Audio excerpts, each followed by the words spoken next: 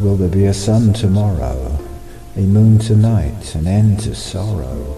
Will there be a warm heart rising through our minds, sometimes surprising insight into lives we lead?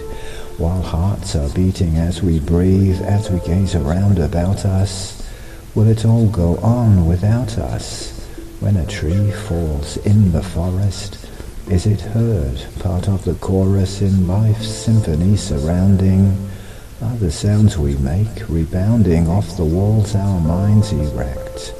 Obstacles we don't suspect are keeping us from being more, from stepping through another door of consciousness. We're all one being, or each a part of all we're seeing in this life on earth we're living, rising, falling, taking, giving, back and forth and up and down.